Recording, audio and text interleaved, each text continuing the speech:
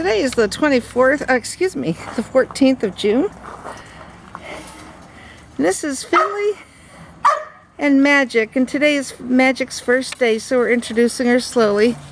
She's a chocolate Merle Doodle? and very playful.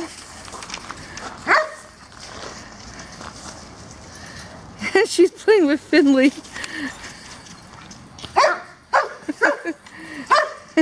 She's going to sleep good tonight, isn't she, honey? and we're going to introduce, that's the wild bunch on the other side of the fence there.